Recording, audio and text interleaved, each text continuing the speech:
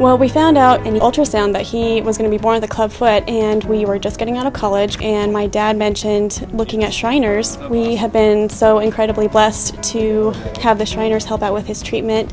We went on down to the field, met some of the players there. They played catch with us. Austin had one heck of a locker set up. He, they had given him his own locker, his name above it, all of the gear. And he's a pretty happy little fella, as you can see this is a family here, and for his family to come in here and feel special and, and uh, you know so welcomed, I, I, can just see it in their eyes. But uh, the players have been outstanding, and they love this type of stuff. To you know, some of these kids miss their their their little brothers and sisters, and this uh, gives them a chance to maybe feel a little bit uh, like being back at home.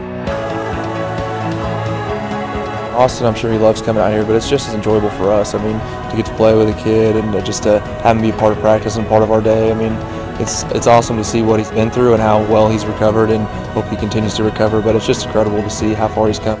That's what makes it worth it to see, you know, somebody that couldn't have walked, and now being able to be out here with him, run, catch, play catch, watch him play baseball, interact with the players. It's been an incredible day. Because of Shriners, I can play baseball.